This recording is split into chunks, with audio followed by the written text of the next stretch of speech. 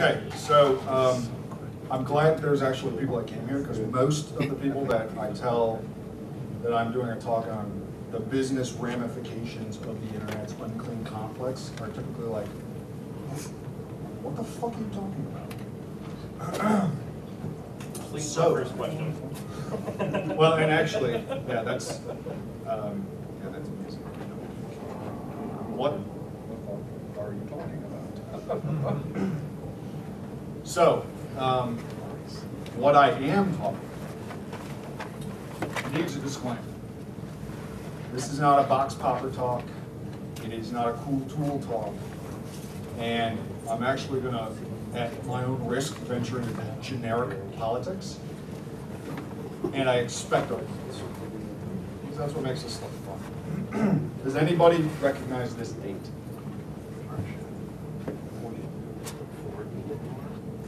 Anyone? So, Six months, this was, was it? six months before D-Day.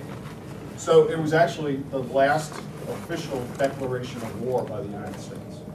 And it was against Bulgaria, Romania, and Hungary. Since then, we as a nation have a, a very long and prolific history and career of quote unquote unclean conflicts. Okay. So you can see that we've, we've had a good time with these. Regardless of the outcome, we've been very kind of good at it. Um, Now, this next date, does anybody recognize that? Christmas. Yes. Have a drink. Pretty sure. I'm sorry, Chris, we've got over here. Just, know. This Christmas in 1991 was the, uh, the date the Soviet Union dissolved. And basically, at that point, we as a nation, yeah, we won, right? No real nation was a good, credible threat to us. Um, at least formally, right? Informally, there's a flaw in that logic. What nation in their right mind would actively confront us when it's such an easy thing through quote unquote unclean conflicts to achieve their goals? And those, you know, goals against, from a nation perspective, laws of intellectual property, our innovations, the things that actually from an economic standpoint, make us a gigantic superpower. So the unfortunate reality of that is that, that. Give Is it some- working? What, this? Yes. Okay. Yeah, I'm just, That's cool. Do you want me to, I mean, I. No, no, you're good. I just want to, I, I just want to make sure it was working. Yeah, I'm good. I mean, everybody can hear me, right? Yeah. Cool. All right, sorry. Thanks, Mark. Sorry. Appreciate it. Thanks, Dave. Hugs. Um, the unfortunate reality of that, like, you know, the, the dissolution of the Soviet Union is that this total mindset um, of who's really going to confront us from an adversary perspective filtered down into our business. And our businesses, all, all, you know, regardless of vertical, right? Our businesses and innovators started thinking the same way. Who's realistically going to step up to the plate and actively confront us? I mean, to a degree, once that mindset filtered down to our businesses, I mean, look at some of the results, right? You know, you had the banking um, uh, restrictions eliminated. Now you have both sides of the banks, you know, from a financial perspective, and now all that stuff led to what, regardless of your politics, right? You know, that stuff happened, and to a degree, we really kind of our, our, our innovators, our business leaders, started realistically thinking that everybody else on the planet, from a business perspective, would behave the same way that we wanted them to. And that realistically didn't happen, right? now, I'm not going to go into details. I mean, obviously, you have China, you have I mean, our allies, right, France, Israel, whatever. All this stuff is really kind of, um, it's been happening, and I would say probably over the last three years, it's really kind of gotten into the media. And once it gets into the media, now it becomes a problem. And eventually, what, you know, when you're that backwards, right? And, and, and this, this statement is, you know, very, very pertinent, right? Why spend billions of dollars developing innovative stuff when you can purchase them for a million, right? That's a market. That's a supply and demand gigantic market. And, and we're now shocked that the rest of the world isn't really playing by the way we want them to play. They're not playing by our rules. Um, so, one of the unfortunate kind of, you know, uh, blowbacks here from, from our perspective in this country is that now we're in a, we're basically, you know, trying to mitigate our lack of foresight through legislation. We have all of these different cyber, cyber, cyber, whatever, cyber law, you know, uh, attempts at legislation being passed. And, know, in reality, when you get to that point where you're trying to solve these types of, of big problems through legislation, you've completely missed the point in the first place, right? so, this term, I, I've been finding, I- I've been getting a lot of use out of this term, this organizational entropy, right? When you think you're smarter than your adversaries, you basically are lulled into this state of, well, who's gonna fuck with me, right? And, and it's, you know, that, that's wrong. It doesn't happen like that. Everybody in here in InfoSec or Risk or, or what have you, right? There's a set of roles that we play. And realistically, when you associate those roles to the business, it kind of boils down to this, right? You got to protect the loss of both replaceable and irreplaceable data, right? And when I say that, I, I'm not going to go off on a tangent, but from a from a policy and audit perspective, most of our, our, our audit frameworks are geared around, and Josh Corman talks a lot about this, but they're geared around replaceable data, right? Credit cards, social security numbers, right? We all have this mindset that they're very important, but guess what? You can replace them. You can't replace innovations, intellectual property. Once they're gone, what are you going to do? You, you stand essentially, you're going to you're going to be looking into the face of these types of ramifications, right? Specifically with intellectual property, lower quality, you know, lower quality goods, lost sales, brand value is gone, uh, and and from a national perspective, falling economic growth. That's an issue. Uh, an organization that, that, that we work with had to completely readjust their earnings because of a some type of breach that, that led to their technology now showing up in international markets at a gigantically lower cost. That's an issue. You multiply that out, now we have an economic free fall to a degree, or at least the risk of. I'm not sure. I'm, I'm not sure. I'd completely say we're there yet, but you know, we're we're getting there, and it's a problem, and we're reacting to it. Stuff that's already happened, and everybody knows a reactive posture is never gonna is never gonna eliminate, mitigate, or remediate anything realistically. so all of these problems that we as security professionals deal with on a daily basis are, are, are kind of a small subset of, of larger informational problems. Excuse me. Um, and and these, these problems um, go into society, go into politics. All of these different variables are, are absolutely involved. Right? And unfortunately, right now, we are currently in an era or part, you know, in, in terms of time, and an era where policy is dictating society which is an unnatural system. Society, theoretically, should dictate policy. And because, because of, it's an unnatural system, the majority of these policies that are being brought forth, et cetera, are really smokescreens that are masking real root issues in terms of what we're you know, what is happening to our innovations, our brands, and therefore all that stuff that affects our economy.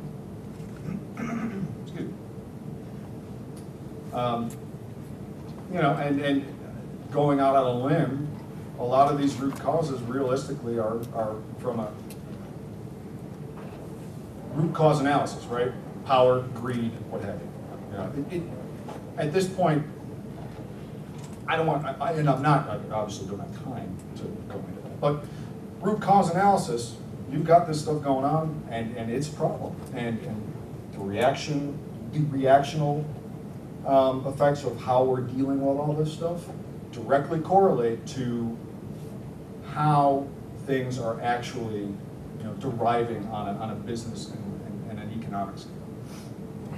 So, the longer we accept these unnatural policies and these unnatural systems, the sooner that our adversaries are going to eventually catch up with us because we're not paying attention to everybody else. This assumption that, hey, we're still big bad superpower from a, both a, a, you know, a military government, you know, as well as a business perspective. And losing sight of that, not I mean, you know, not having that fresh in your mind, we are basically in a, a, position in time right now where the Chinas, the what have yous, are, you know, through these unclean conflicts, gathering up a lot of this innovation that we rely on from a growth perspective and utilizing it to kind of undercut everything that we've been doing. Joel Brenner uh, wrote this book, America the Vulnerable. Now, I'm going to preface this by saying that book tends to be utilized by a lot of security equipment vendors as FUD. Okay? There's a lot of stuff in there that's like, oh my God, the sky is falling. And a lot of it, a lot of it's true. However, this quote is really, really, it really kind of puts it to the point, right? We need to learn to live in a world where less and less information can be kept secret, and where secret information will remain secret for less and less time. From an architecture perspective, you have to design your systems to assume the breach at this point. Assuming the breach and then understanding how, from a, from a, a defense perspective, how can we, uh, how can we basically make our systems designed in such a way where, okay, this breach happens, but this stuff is still okay. Data classification policies in organizations are critical. You hear a lot about data loss prevention.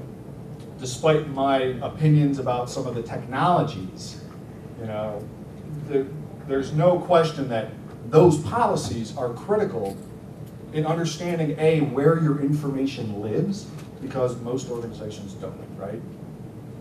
Where's your perimeter? Oops.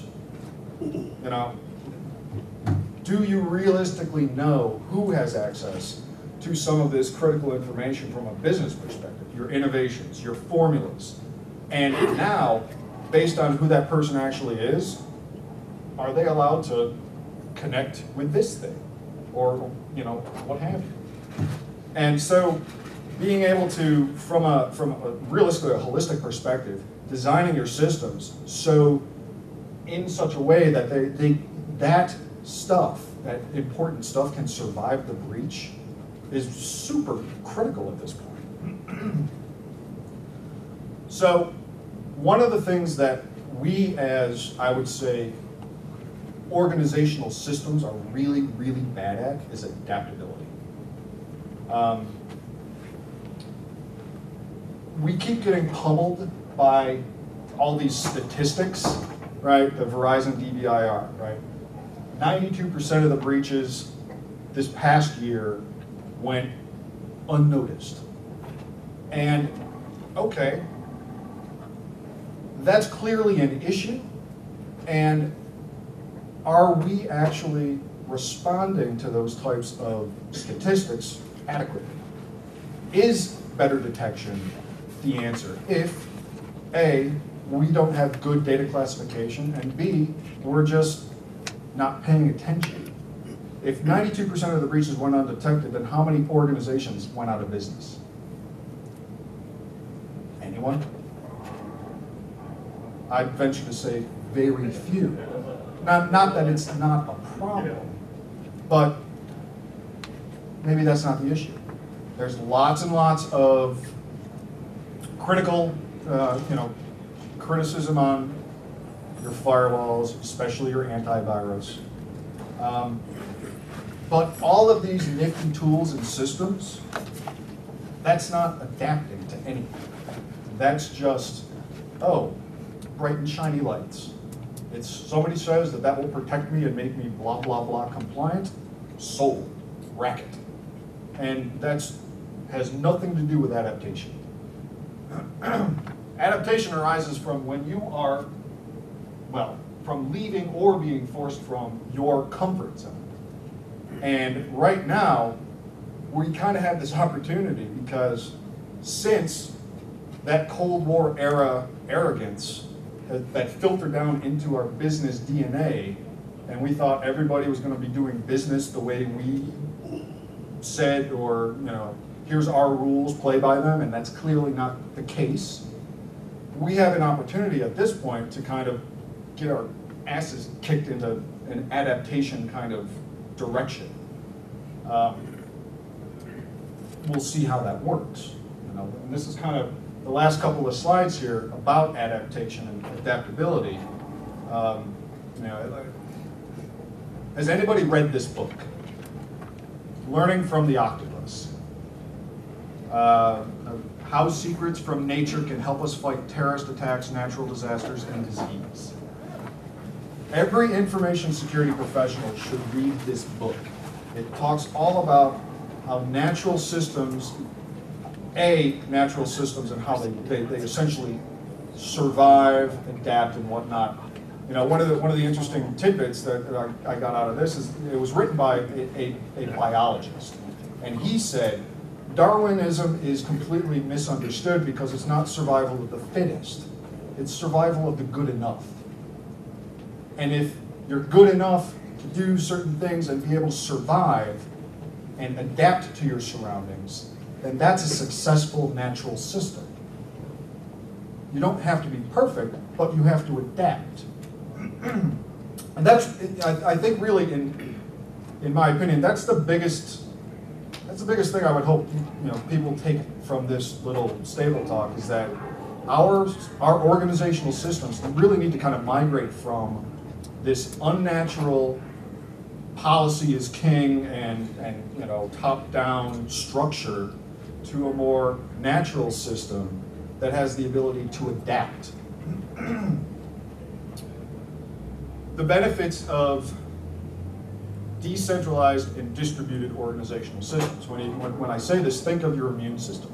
It's a completely, um, you know, it's a distributed network that has the ability to react to something and concentrate energy or something into whatever unusual activity it has discovered. Um, these benefits include multiple sensors, right? So with a system that has multiple sensors, you have a great, much greater chance of actually identifying unusual changes within your organization or your natural system. No preconceived notions, um, you know, which essentially seeing the environment for what it is as opposed to what has been defined, right? And then finally, you know, specialized tasks include, you know, the, by utilizing and having things that have specialized tasks, you have the ability to allow resources to get assigned to important tasks and thereby saving energy, right? successful adaptation really requires a challenge. And when you talk about having an organizational system or a natural system that has challenges, a challenge isn't, we're going to configure the firewall this week. A challenge isn't, we're going to put in this or we're going to do this and here are your orders.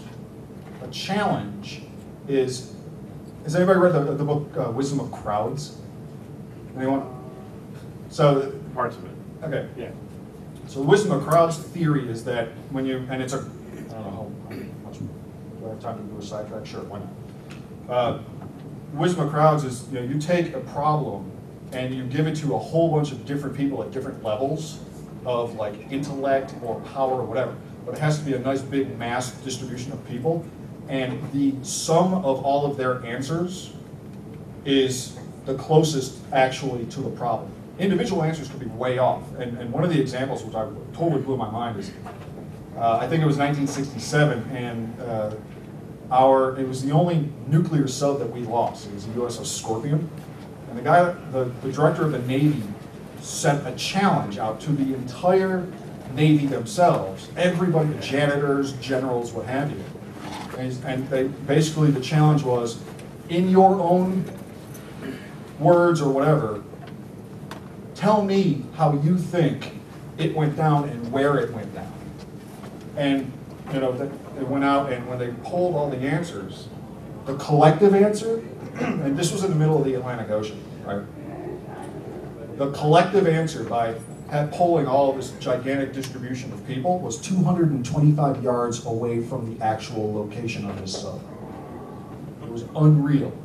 So adaptability requires these challenges that, you know, for all intents and purposes, utilizes this kind of wisdom of crowds mentality. And, it, and again, it's not, it's not saying this is how we're going to do things. It's how are we going to do things.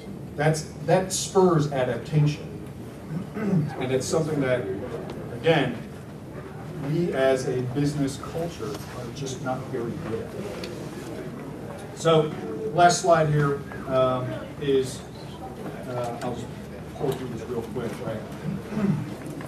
Businesses and therefore security strategies must switch from designing solutions to adapting solutions. Moving away from orders and providing challenges for your people, that spurs adaptation, that spurs creativity. Uh, And, and, and again, you know, from a challenge perspective, there are many solutions. It's not us as, like, say, a director level saying, we need to get to this point. It's, hey, we have a goal, let's figure out how we collectively can meet these goals. Not assuming that there's only one way to do that. The last thing, um, from a, you know, again, a generic politics perspective is, look, you know, we have these issues. We have people who are not focusing on actual business slash economic problems. They're defining policy, or policy is defining society as opposed to society defining policy, which is completely unnatural in its, it's an unnatural system. It's all smokescreen. The stuff that a lot of people think are important, in my opinion, isn't. So vote them out. That's it. Feedback. Anybody have any questions? Anybody want to argue? I like arguing. We do have some booze over there too. Anybody? Yeah, yeah, absolutely, absolutely. Any questions? Any comments? Why didn't you bring this up in the class that we were in? You were, uh, felt like, uh, you had this wisdom to be- give all of us Because, because I was completely um, in fear of Nickerson. I don't like it. I don't like it. That dude is unreal. I, I, seriously, I think he might be one of the most dangerous persons on the planet. And, and, you know, I- I- we started out that class, we did the red teaming class with, uh, with Chris Nickerson. We started out, I was like, who's next, by the way? Am I stepping on their toes, or they really? All right. We started that class, and it was great because, you know, there was a lot of upfront business risk kind of talk, that's kind of like my area. Penetration testing, I do, red teaming, you know, not really do, but that was really fun to go through that class. But, um, yeah, I mean, that was my, I was like, oh, cool, yeah, we're actually talking about shit that I know. Uh, But, yeah, it's, it's a different scenario as far as I'm concerned, you know. Any other comments? All right, thank you very much, appreciate it.